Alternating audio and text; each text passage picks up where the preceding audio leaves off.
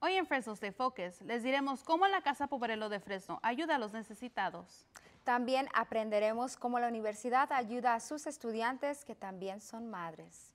Y tendremos los detalles sobre la celebración del Día de la Tierra. Fresno State Focus comienza ahora.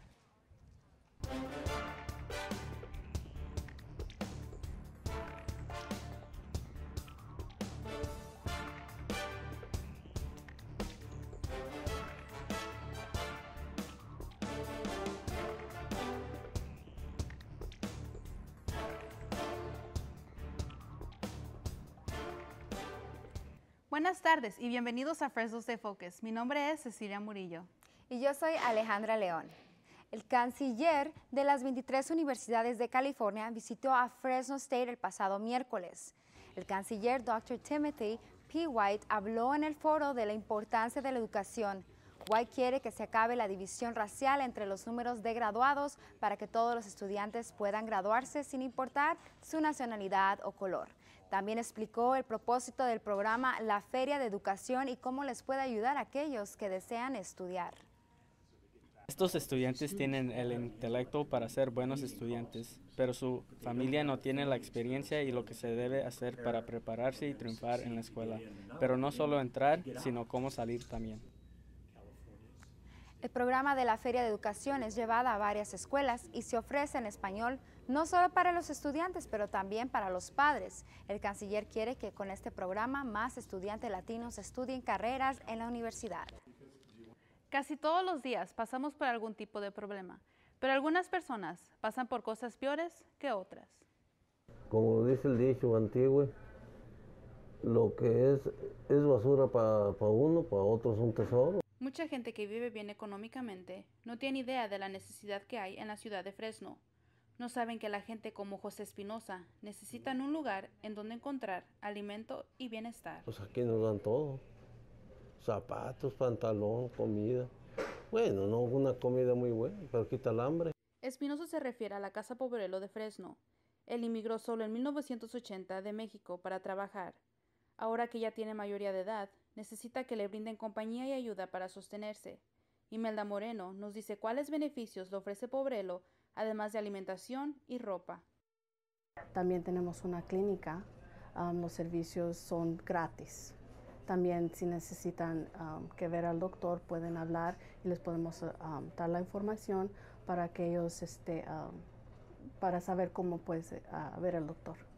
Además de servicios médicos, les brindan techo a los que necesitan. Pobrelo ha creado la pequeña comunidad de los villages que clientes pueden adoptar como un pequeño hogar. La Casa Pobrelo hace más de 1.500 comidas diarias, pero la gente puede ayudar donando cosas como cajas hasta comidas en lata. Todos los servicios en la Casa Pobrelo son gratuitos y cualquiera puede beneficiar de ellos, pero se necesita reunir muchos fondos para sostener el sitio. Jessica Muñoz dice que las donaciones son importantes. Porque nuestros clientes no tienen nada. A veces tenemos clientes que vienen y dicen, mi casa se quemó, no tengo nada. Dándole las cosas básicas es lo que ellos, vayan ellos necesitan. Y es cuando necesitamos de la comunidad que los ayuden. Si desea ayudar a Espinosa y a los clientes de la Casa Pobrelo, puede hacerlo visitando la página web o marcando el número de teléfono que aparecen en pantalla. Ser madre y ser estudiante a la misma vez no es fácil, por eso la Universidad de Fresno trata de ayudar a los estudiantes que tienen hijos con el programa de cuidado de niños. Aquí les tengo la historia. Graciela Juárez llegó de México en el 2008 y siempre soñó con ir a la universidad para obtener una carrera. Juárez ahora estudia para ser trabajadora social en la Universidad de Fresno State, pero no es solo estudiante sino que también es madre. Ella tuvo su hija en su primer año en la universidad y eso no la detuvo para continuar con sus estudios. Al principio era muy difícil hacer tareas y, y cuidarla al mismo tiempo, hacer las dos cosas. Juárez dice que después de la escuela se dedicaba a atender a su hija y durante la noche hacía su tarea y poco a poco aprendió a balancear su tiempo. Algo que le ayudó a seguir con sus estudios fue el programa de cuidado de niños que le ofrece la universidad, ya que calificó para no pagar por el cuidado de su hija. Y al mismo tiempo ella se siente tranquila al dejar su hija mientras ella va a sus clases. Siento más segura, siento que ahorita ella está más segura y ya no me preocupa, estoy en las, en las clases y ya no me preocupa, tal vez le pase algo, tal vez le den algo de comer que no es apropiado y pues me siento más segura de que ella esté aquí. Juárez dice que duró un año en espera antes de que lo aceptaran en el programa. Y en ese tiempo ella buscó a alguien que le cuidara a su hija. La universidad ofrece a los estudiantes tres centros de cuidado para niños de diferentes edades. La directora del programa de cuidado de niños, Catherine Mathis, dice que con este programa los estudiantes pueden enfocarse en sus estudios mientras sus hijos comienzan una educación temprana. Um, Las personas no pueden ser productivas y satisfacer su potencial si están preocupados por algo tan precioso como sus hijos. Por eso, nuestra meta es proveer servicios de calidad. Paulina Barbosa estudia criminología en la universidad y también es madre. Ella dice que aunque su hija está en espera para el programa de cuidado de niños, está contenta de saber que la escuela ofrece este tipo de Pienso que es un buen programa porque si está esta ayuda para las estudiantes que son madres, entonces ellas van a seguir motivadas un poquito más para seguir estudiando. Juárez recomienda a todas las madres estudiantes que busquen programas que les puede ayudar para continuar estudiando. Ella dice que los hijos no deberían ser una barrera para no estudiar, sino una motivación para hacerlo. El programa les ofrece a los estudiantes dos horas para que ellos puedan estudiar o hacer su tarea. Ahora pasemos a las noticias de entretenimiento con Nicole Arcieri. Muchas gracias, chicas. Un niño de 10 años le hizo una pregunta inesperada a su madre y ahora esa pregunta se ha convertido en un libro. Michelle Antonio nos presenta la historia de Samuel de la Cerda. Una lluvia de aplausos felicitó a Samuel de la Cerda por ser valiente y preguntar, ¿soy invisible? Samuel tiene 10 años, pero por un minuto es mayor que su gemelo Elijah. Elijah nació con síndrome de Down, pero Samuel dice que los que tienen síndrome de Down tienen una cromosoma extra que los hace especiales. No sé, solo son especiales y yo pienso que ellos son especiales. Y hay algunas cosas que no sé decir, pero solamente son. A Samuel le gustan los deportes y ama a su mascota Bella, quien aparece junto a él en la portada de su libro. Después que Samuel le dijo a su mamá que se sentía invisible porque sentía que su hermano Elijah recibía más atención que él, juntos pusieron sus emociones en palabras. La mamá de Samuel e Elijah, Jamie de la Cerda, dice que está orgullosa que Samuel confió en ella y le dijo cómo se sentía. Fue un momento de orgullo para mí cuando solamente lo pude escuchar a él, porque eso es lo mejor que pude hacer, porque no tenía una respuesta para él solo escucharlo y entender lo que él sentía, porque eso es lo importante. El libro de Samuel está captando la atención de muchos y a su temprana edad Samuel está comenzando a presentar su libro al público. Con el apoyo de su familia y amigos y con su mamá a su lado, Samuel leyó su libro en la biblioteca pública Betty Rodriguez en Fresno. Chris Erickson, amigo de la familia, apoyó a Samuel en la presentación de su libro Pienso que es increíblemente perspicaz que tuvo la habilidad de ser lo suficientemente valiente para poder dar el gran paso de poder identificar sus sentimientos. Como dice el libro de Samuel, él nació para brillar. Su jornada como autor es más que visible. Pronto viajará a otras ciudades donde presentará su libro y ya tiene planes para un segundo libro. Michelle Antonio, Fresno State Focus. El pasado fin de semana se celebró el Día de la Tierra y Baicelia dijo presente en esta celebración. Cientos de personas se reunieron en el Jones Parkway para celebrar el Día de la Tierra este pasado sábado 23 de abril. Este evento tuvo como propósito el educar a la gente sobre diferentes maneras de cómo cuidar nuestro planeta. Este evento es solo una muestra de las diferentes maneras que hay para cuidar el medio ambiente nos permite educar a nuestros residentes sobre cómo cuidar el medio ambiente, porque ellos serán los más afectados si no cuidamos el planeta. Durante el evento, las personas pudieron visitar los diferentes puestos de información sobre cómo cuidar el medio ambiente y disfrutar de puestos de comida y música en vivo.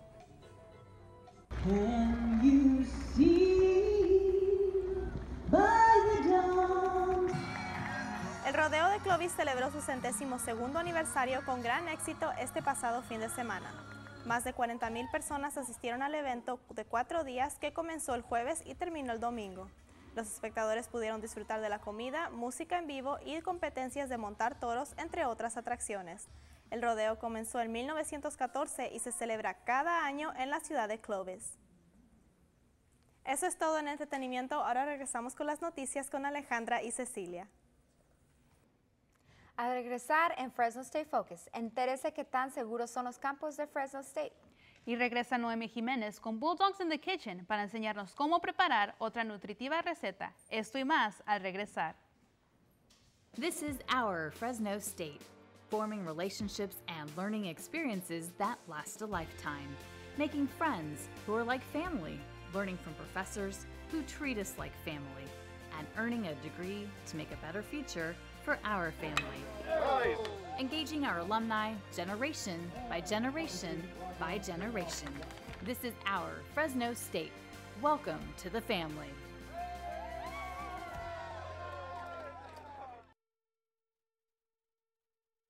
Success.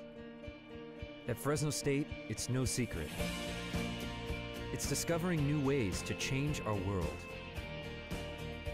It's creating opportunities as diverse as our community itself.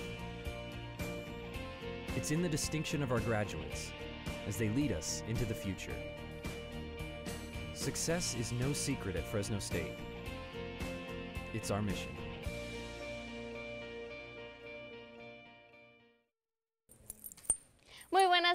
Y feliz miércoles para todos los que nos están viendo en casa. Mi nombre es Miriam y vamos a ver cómo está el clima. Pero primero vamos a darle un vistazo a cómo está haciendo, cómo le va a nuestra nación. Como podemos ver, hay mucha actividad de lluvia en el este y parte del medio de nuestra nación. Lluvias, así que para todos ustedes por allá, tengan precaución si van a salir. Pero vamos a ver lo que realmente nos importa, lo cual es acá en el oeste. Como podemos ver, en California hay mucha actividad de lluvia en el norte, pero esa lluvia, déjenme les digo, se va a acercar durante el día de hoy hacia nosotros. Así que vamos a tener algo de lluvia, pero antes de eso vamos a ver a la calidad de nuestro aire. Y como podemos ver, es verde en todos los condados que tenemos. Así que muy buen aire gracias a aquella lluvia que tuvimos hace un par de días. Así que muy buena calidad de aire para nosotros.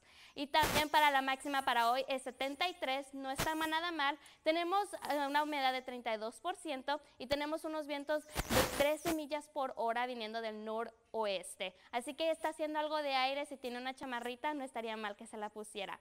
Y también, como les mencioné, hoy tendremos algo de lluvia en, en nuestra ciudad. Así que tenemos una probabilidad de 40%. Así que si tienen el paraguas, listo, muy bueno para ustedes si van a salir. También para el jueves tendremos parcialmente nublado, así que habrá algo de sol, pero no mucho, así que mantengan eso en mente. Y para el viernes, miren eso, sol, estará soleado y tendremos a los 81. Y para el fin de semana, más sol, como pueden ver, así que si gustan salir, no olviden ponerse el bloqueador. Y también subiremos a las 79 y al 83.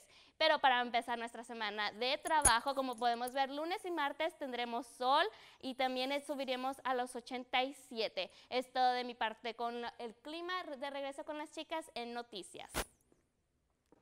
Tras el fatal accidente que ocurrió en los campos de la Universidad de Fresno, muchos están preguntando si habrá cambios en la seguridad de estas tierras.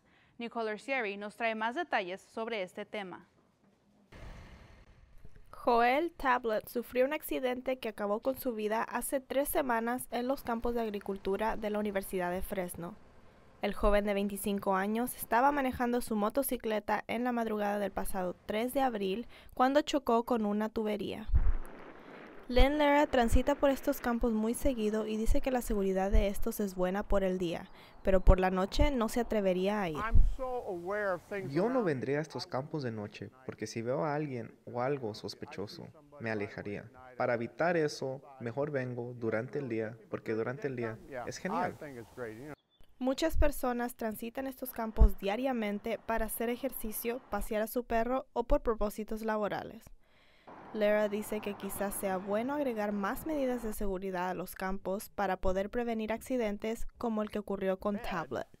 Después del accidente, la universidad podría poner una luz en la zona para ayudar con la visibilidad y así prevenir accidentes. La vocera de la policía de Fresno State, Amy Luna, dice que aunque hay señales de precaución que dicen que estos campos son propiedad de la universidad, las personas todavía tienen acceso, pero bajo su propia supervisión.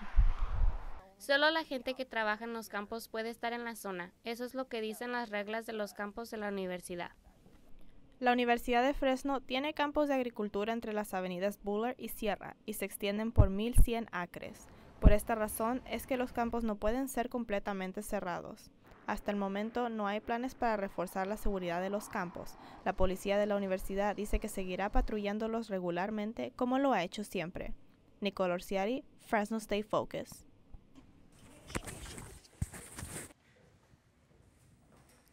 Tener una vida saludable implica comer alimentos nutritivos, por eso aquí tenemos a Naomi Jiménez con Bulldogs in the Kitchen. Hola, ¿cómo estás Naomi? Muy bien, muchas gracias. Muchas gracias por acompañarnos otra vez aquí. Ya, es mi, mi, placer estar aquí. ¿Nos puedes decir, uh, primeramente, recordar por última vez de qué es el programa, de qué se trata el programa Bulldogs in the Kitchen? Sí, es un programa dedicado para los atletas donde los traemos a la cocina para enseñarles la importancia de la cocina y también de la nutrición. Ah, muy bien. ¿Y hoy en día qué los trae, qué los vas a, enseñar a hacer? Tengo una ensalada fresca de calabaza amarilla y también tengo apio con eh, ensalada de eh, atún, con moras y pasas. Qué rico. Pues vamos a comenzar a hacerlo. vamos. Yo, te ayudo, yo te ayudo. Ok, so vamos a empezar con el apio. El apio, ok. Vas a tomar el atún. Okay.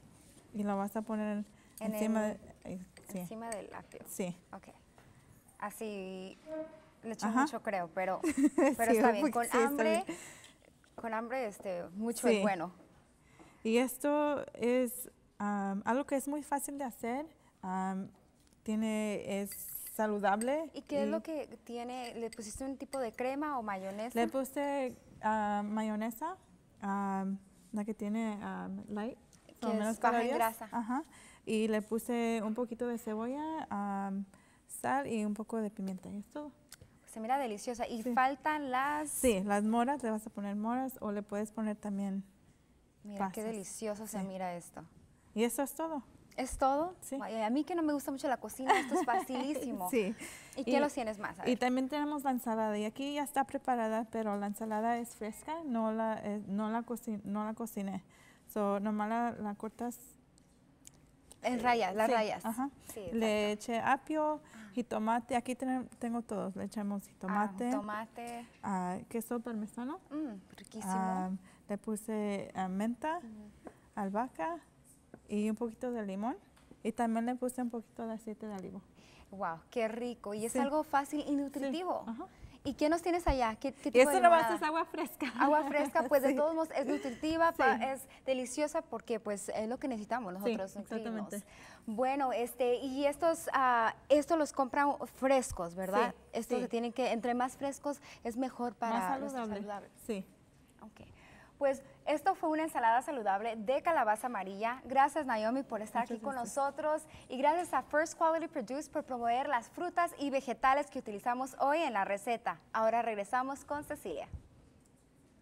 Este pasado fin de semana marcó el aniversario número 101 del genocidio armenio. La Universidad de Fresno State hizo un homenaje para recordar el millón y medio de personas que perdieron la vida. Miriam Pérez tiene los detalles.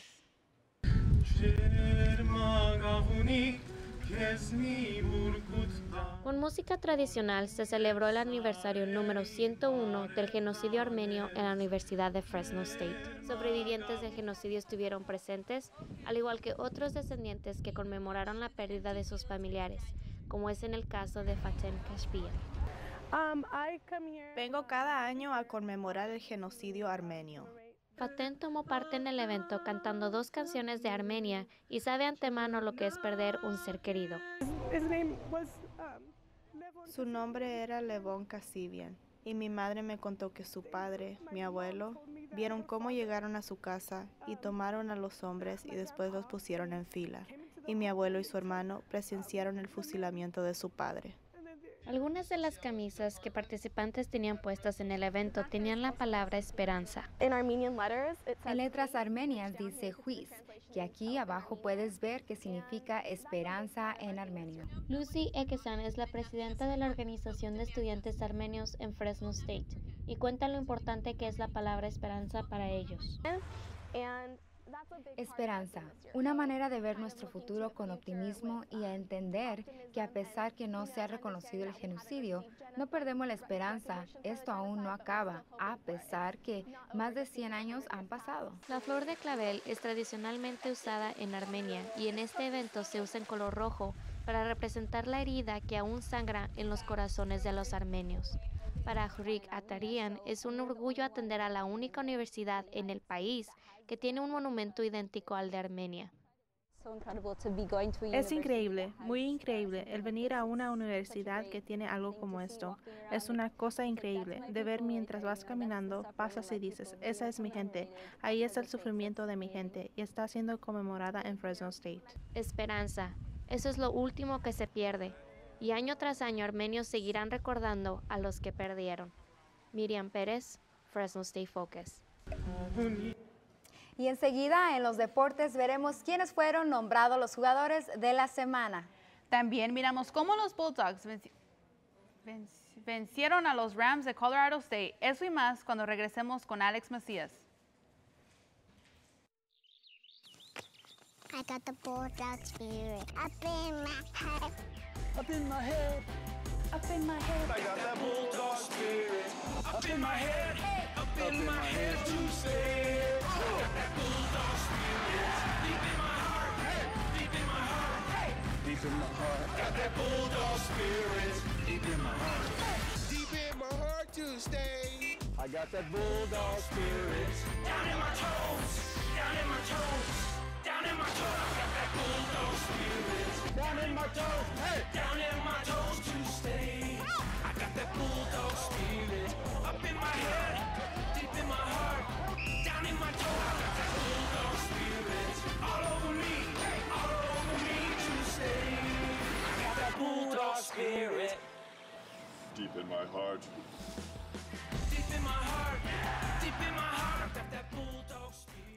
Esta semana solamente mujeres fueron nombradas las jugadoras de la semana para Fresno State. Anna Marie Swans hizo historia una vez más cuando ella cambió los libros de registro para el programa de Fresno State en la pista de salida en los 1500 metros. Swans terminó en el primer lugar superando a 32 otras corredoras en el fin de semana. Janaya Sears también fue nombrada atleta de la semana porque ella tenía un movimiento exitoso de 21 pies y 9 pulgadas y ahora se sostiene en la parte superior de marca en la conferencia. Su distancia le da el récord de salto más largo en la historia escolar. Y vamos a softball, nos vamos. Deja y comienza en la parte inferior de la primera cuando Kira Willis marca de un error de pitcher Holly Rank para aumentar a los Lady Bulldogs y le dieron la ventaja de 2 a 0. Un poco más tarde, con tres corredores en la base, número 9, Bria Kennedy golpea el balón por el centro y anota un RBI de tres carreras y con eso la ventaja aumenta aún más. Ahora sube el marcador 5 a 1 sobre el estado de Colorado. Y finalmente, el pitcher Joe Compton termina el juego para anotar la victoria para los Bulldogs de Fresno State con el marcador final de 7 a 2. Ahora vamos a la Liga Mexicana, a Liga MX de, de México. Vemos la tabla de posiciones. Monterrey está en el primer lugar, sentados muy tranquilos con 36 puntos. Abajo de ellos están las Águilas del la América con, 20 con 27 ah, puntos. Santos Laguna en tercer lugar, empatados con América. Y finalmente Pachuca, León y las Chivas terminan los primeros seis, ah, primeros seis en la tabla de este torneo. Muchas personas piensan que conocer a su ídolo deportivo es imposible. Eso fue lo que la mayoría pensó cuando Salvador Cabañas visitó a la ciudad de Danuba este pasado marzo. Hoy con nosotros está el organizador de este evento, Alejandro Murro. Muchas gracias por acompañarnos. Gracias por la invitación, Alejandro. Ah, ¿Me puedes decir cómo decidiste organizar este evento? Eh, bueno, fue una idea que, que, ya se venía de años atrás. Eh, sabemos a, a, los que estamos dentro del ambiente lo que le pasó con Salvador Cabañas y lo que Salvador Cabañas significaba en el fútbol mexicano y en el fútbol latino. Entonces, después de buscarlo por un par de, de años, uh, lo pude contactar y se nos ocurrió la idea, junto con un grupo de personas, de traerlo a Dinuba para que la gente del Valle pudiera conocerlo y se pudiera inspirar de cierta forma con su historia. ¿Alguien te ayudó o lo hiciste solo? Uh, pues empecé solo, poco a poco se fue eh, añadiendo más personas y, y, hicimos un buen grupo ahí, unos chavos de la, de la High School de Dinuba, del equipo de fútbol, algunos uh, negocios uh, locales también nos ayudaron y bueno, parte de la familia también estuvo ahí ayudándome. ¿Me puedes decir cómo fue el evento de Salvador Cabañas? ¿Cómo se sintió el, el, la ciudad? No, no solamente la ciudad de Danuba, pero la gente que, que fue a visitar a este señor que es jugador de, de las Águilas del la América. Sí, la verdad que muy, el ambiente estuvo muy bonito. Al principio sí mucha gente no lo creía. De hecho, ahí durante el evento eh, hice la pregunta de, de, cuántos no se la creen que va a venir y la mayoría alzó la mano. Pero ya estando ahí, el ambiente estuvo muy, muy bonito, muy agradable. Eh, la gente tuvo oportunidad de hacerle preguntas, de convivir a nivel más personal con él. Y, y eso hizo que la gente saliera contenta y, y que saliera emocionada para el siguiente evento. Alejandro, gracias por estar aquí. Actividades deportivas pueden unir a una comunidad. Una academia de lucha en una escuela secundaria en Fresno les, les ayuda a los niños a permanecer lejos de pandillas y, y, y, la violencia. Los niños caen en malos hábitos. Guillermo Villarreal es un graduado de Roosevelt. Se crió en el sur lado de Fresno donde las pandillas y la violencia eran una forma de vida. Él sabe cómo ásperos las calles de Fresno pueden ser. En los noventas. ¿Quién no conoce los noventas? Obviamente, fue un poco más áspero, así que creo que tenía que tomar una decisión, especialmente cuando vine a Roosevelt, lo que iba a hacer. Villarreal quería un lugar donde los niños podían ir para dar estabilidad y lecciones de vida. Empezó Fresno Beat the Streets Wrestling Academy. Un lugar seguro solo para aprender acerca de diferentes aspectos, no solo de la lucha libre, pero de la vida, y esperemos que les den un lugar a donde ir para estar. Brian Sutter es un padre de 12. Él dice que cayó en malos hábitos. Creciendo hizo cosas que no se siente orgulloso. Quiere que sus hijos tomen un camino diferente. Y la academia está ayudando a hacer eso. Para estos niños que provienen de ciertas áreas que no hay una gran cantidad de dinero, en estas áreas Él abre las puertas para estos niños. En mi libro es un buen hombre. El hijo de Sarah está aquí para apoyar a sus hermanos y a Vía Real. Porque Vía Real le dio un regalo que no puede ser reemplazado. Vía Real le dio tiempo en el gimnasio. Me permito llegar a McLean. Use la estera en mi tiempo libre. Me refiero a un montón de tiempo. Me mantuve en una sala de lucha constante. Y quiero decir, sin él abriendo esas puertas, no tenía un lugar para entrenar.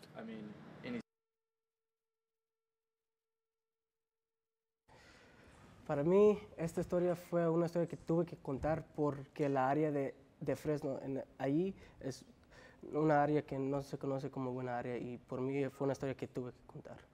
Es muy bonito que hay personas que quieran ayudar a, a los jóvenes a Sí. que no caigan en cosas negativas todavía, porque ahorita en estos tiempos los muchachos se buscan otro tipo de, de cosas negativas en vez de algo positivo. Exacto. Sí, es, es hiciste un muy buen trabajo. Ojalá y esto inspire más personas allá afuera. Después de ver esto, tu trabajo, Alex, de que digan, ¿sabes que Yo también puedo ayudar a la gente de la comunidad, porque necesitamos eso, más gente que nos apoya. ¿Están tomando voluntarios? Ah, sí, también. Sí, No, no, no tienes que ah, ser experto en la lucha, pero sí, sí toman de niños de 4 a hasta es más que dos años. Como tú eres de esa área, cuando tú estabas más pequeño o en la edad de esos niños, ¿había programas así o no? Más o menos, ah, no muchos, pero sí había. Mm, No, pues ojalá y alguien más ayude allá Sí. afuera. Es. Gracias por habernos acompañado hoy en el último programa de Fresno State Focus de la primavera 2016. El próximo semestre verán un nuevo equipo que les traerá más noticias, entretenimiento y deportes. Queremos darle las gracias a todo el equipo de producción y a todos por su sintonía. Y por último, queremos agradecer a nuestra profesora Fitz Sidlow por su dedicación y ayuda. Que tengan una buena tarde.